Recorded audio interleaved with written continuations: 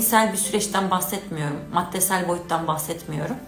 Mana boyutunda muhakeme etmek, tefekkür etmekten bahsediyorum şu anda.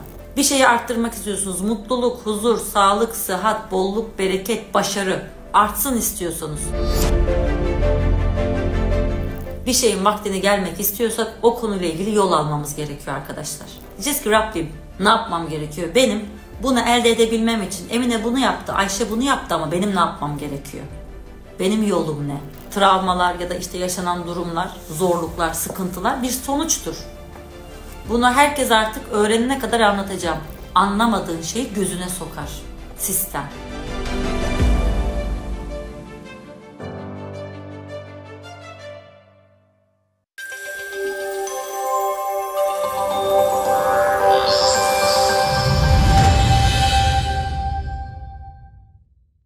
İsteğinize ulaşmak için ne kadar çok harekette bulunursanız o şeyin vakti o kadar çabuk geliyor arkadaşlar.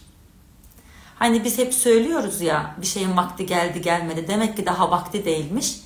Aslında bu şu demek e, vaktin gelmesi senin göstereceğin gayrete bağlı. Gayretin yoğunluğuna bağlı. Bu gayret ilmi boyutta da olabilir. E, düşünce boyutunda, muhakeme boyutunda da olabilir e, bedensel boyutta da olabilir. Burada elementleri işin içine soksak muhakeme su elementiyle alakadar, hava elementi bilgiyle alakadar, ateş elementi aksiyon almakla alakadar, e, toprak elementi de istikrarlı olarak devam etmekle alakadar. Demek ki ben bir işte bilgi sahibi olup o konuda muhakeme edip akletme, fikretme, hissetme, hayal etme güçlerimle birlikte aksiyon alır ve bu aksiyonda devamlı bir surette, e, istikrarlı bir surette devam edersem e, uzaklar yakınlaşıyor. Daha mutlu olmak istiyorsun, daha zengin olmak istiyorsun, daha sağlıklı olmak istiyorsun. Bu bununla mümkün.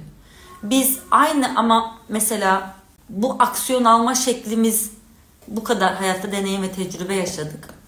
E, yaptığımız yoldan olmuyorsa demek ki yeni usuller seçmek lazım.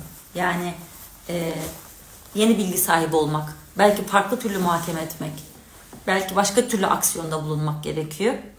Bu yüzden de sürekli düşünmek gerekiyor arkadaşlar. Ancak biz o düşünmeyi yanlış anladık. Bugün zihinsel süreçleri çok aktif insanlar haline geldik. Bir şey başlayacaksanız, yeni bir şey başlayacaksanız yeni ayı kollayın arkadaşlar. Diyet de böyle. Ee, herhangi bir konu da böyle. Ama yeni ayda başlattığınız bir işi tamamına erdirmek istiyorsanız o zaman dolunay kısmını kullanacaksınız. Ya da kötü enerjilerin bitmesini istiyorsanız dolunayı kullanacaksınız. Bakın size bir tüyo daha vereyim. Bir de hani e, sayılar alemiyle ilgili bir gerçekliktir ve bu çok önemli bir gerçekliktir. Günlerin sayılarına bakın.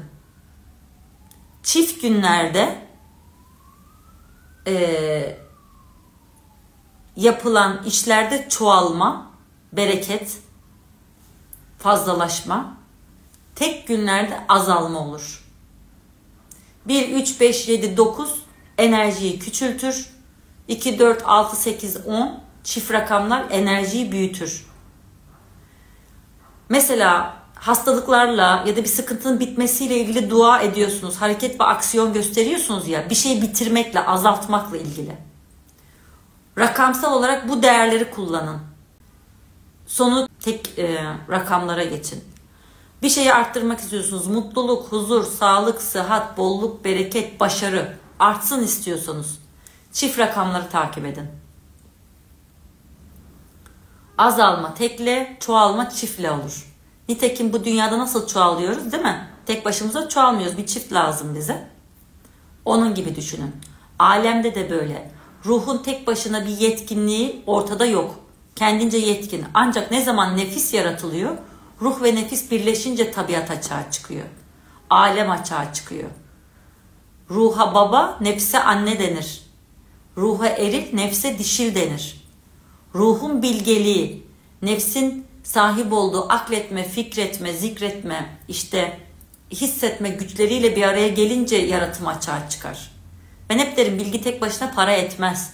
Bilgi tek başına bir hakikati ortaya koymaz o bilginin açılıp muhakeme edilmesi, e, fikredilip birleştirilmesi, akledilip kullanılması, hissedilip hissedilmesi, e, hayal edilmesi, tasvir edilmesi, biçimlendirilmesi. Biz bilgiyi ne yapıyoruz hayal ederek? Biçimlendiriyoruz. Mutluluğun resmini çiz diyorum mesela değil mi? Mutluluğu hayal et. Senin mutlu olma anlayışınla benim mutlu olma anlayışım başka. Mutluluk tek bir kelime gibi gözükse de senin nefsinin e, mutlu olmak bir kelime, bir bilgi, mutlu olmak, huzurlu olmak. Fakat nasıl mutlu ve huzurlu olacağım bana ait, bana benim hakikatime ait özel bir bilgi.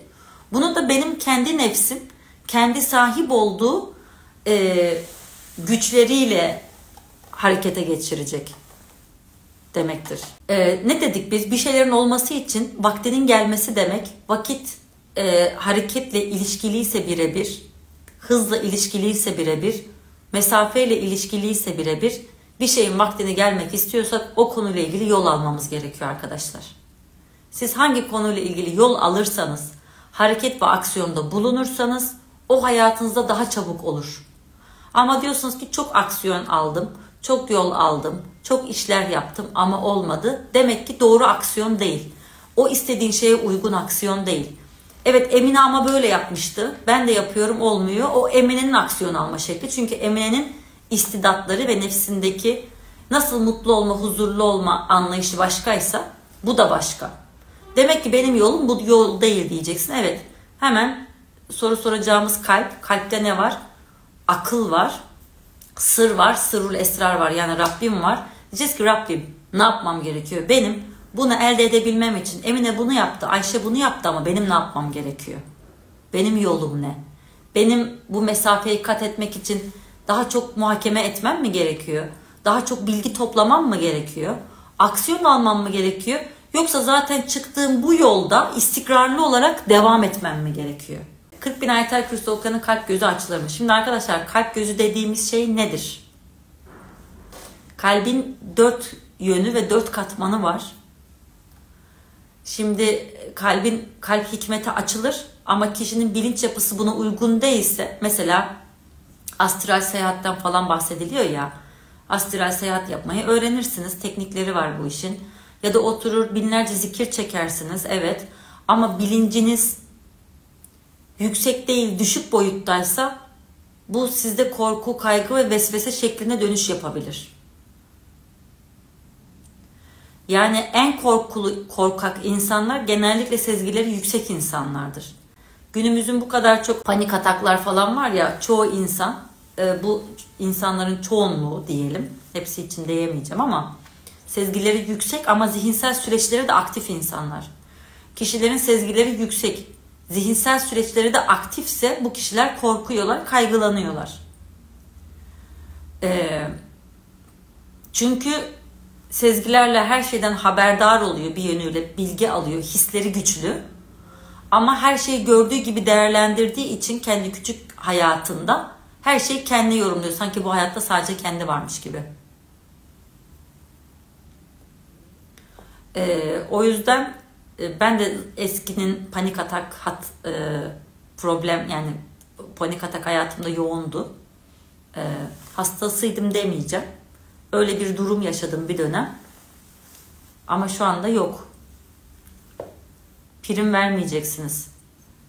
Ee, ama prim vermemek de bilincin yükselmesiyle mümkün. Okudukça, idrak ettikçe, muhakeme ettikçe hayatın e, yönelimi değişiyor arkadaşlar. Yönü değişiyor. Ben hep onu diyorum. Bizim bugünkü insanların en büyük problemi e, istidatların ve potansiyelin yüksek olup kullanılmaması. Boş boş işlerde kullanıyoruz. Günlük işlerde. Ne yedin, ne içtin, bu mu, çalıştın mı, para kazandın mı falan. Para kazanmayı falan küçümsemiyorum. Para kazanmak için ortaya koyduğun projeler senin istidadına uygun mu acaba? Sen işte 100 birimlik bir adamlık 10 birimlik işler görüyorsun. Patlarsın. 10 birimlik adamsan 100 birimlik yapmaya çalışıyorsan zorlanırsın. Ama elde edersin çünkü potansiyelinde var. Bir şekilde o açığa çıkar. Nefsini geliştirirsin. O yüze ulaşırsın. Ama yüzlük bir adamsan onlukların, yirmiliklerin içerisinde bulunmak seni patlatır. En çok da bedensel hastalık, günümüzde de en çok ruhsal hastalık yapıyor. Panik ataklar, OKB'ler. Kişi küçücük hayatında evinin temizliğinin dışında hayatında tek, tek büyük amacı evin temiz olması, çocukların okula gidip gelmesi, geldiklerinde yemeklerin hazır olması. Sen bu yüzden mi yaratıldın? Bak bakayım bu hayata niye geldin? Ey kadınlar! Kadın çok beni dinleyen. Bu hayata biz evet Allah'ın bize verdiği o hikmet dolu bedenle e, insan neslinin devamını sağlamak üzere böyle bir vazife bize verildi.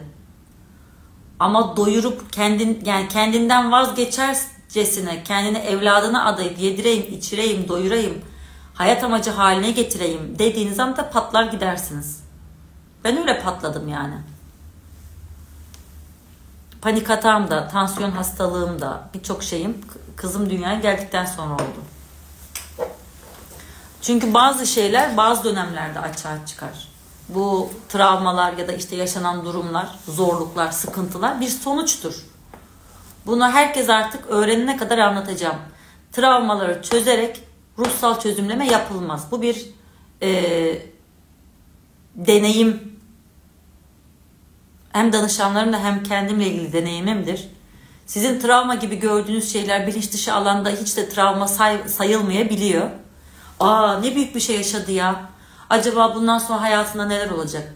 Ruh ve nefis o kadar büyük bir bilgelikle donatılmış bir varlık ki. Senin burada zihinsel sürecindeki o e, e, beyninin günlük hayattaki algısına göre onu travma olarak saymama ihtimali arkadaşlar çok yüksek. Ama bilinç dışı alanda kişinin aklına herhangi bir durumla ilgili bir olayın, bir durumun rehberliğini aldığınızda o olay geliyorsa ki o olay evet o zaman rehberlik yapar. Travmalar bir rehberdir. Travma gibi gözüken şeyler.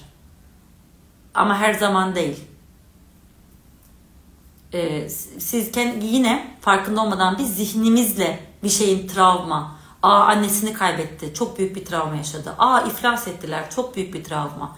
Aa çok büyük bir kaza yaptı. Ne büyük bir travma. Yo değil. Olmadı yani. Mesela ben de yok. Ben o kadar kendimle ilgili çözümleme yapıyorum hayatımda e, bir Türk filmine ya da e, yaklaşık 4 sezonluk oynayacak bir dizi filme ait birçok konu var. Travmatik düzeyde. E, baktığınızda travmatik düzeyde. Ama benim bilinç dışı alanda, hücresel hafızalarımda beni dürten, beni sabote eden çok daha minik olaylardaki kimsenin haberinin bile olmadığı, fark etmediği, benim bile fark etmediğim olaylar. Niye oraya oturdun? Kalk şuraya otur denmesi sana travma olabilir. Görüntüde aa bunda alınacak ne var der başkaları. Senin için o travmadır. Bilinç dışı alandan bahsediyorum. O yüzden bir şeylerin doğru tespit edilmesi için bakış açıları o açıdan görülmesi lazım. Ben hep söylüyorum evet bugünkü spiritüel dünya benim de içinde bulunduğum e, birçok bakış açısı kattı ama e, bu kadar değil arkadaşlar yani. E, biz bu dünyadan ibaret yaşadığı travmayla bugünü sabote eden bu kadar basit far, eylemsel varlıklar değiliz yani.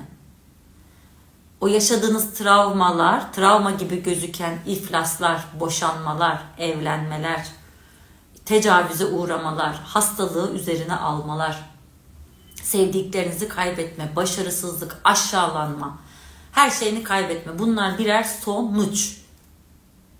Bunlar birer sonuç.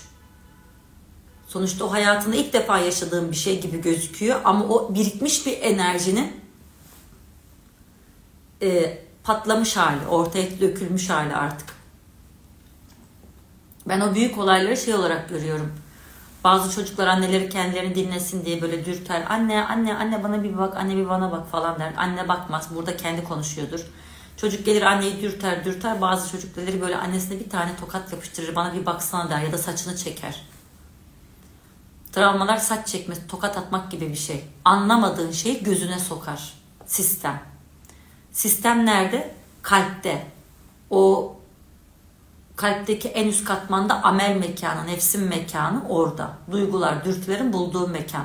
Hayvansal e, mertebe hayvani ruhun bulunduğu mekan. Altta akıl var. Biz o hayvani ruhtaki bilgeliği alıp oradaki aklı kullanıp duyguları, dürtüleri bir rehber olarak kullanırsak alttaki akıl, ruhsal bilgelik makamına geçiş yapabiliriz.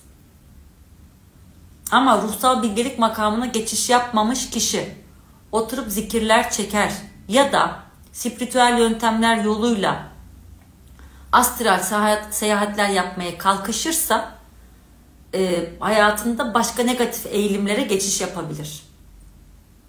O yüzden bilincin yükselmesi, kişinin bilinç yüksekliğini kendini bilmesi çok önemli.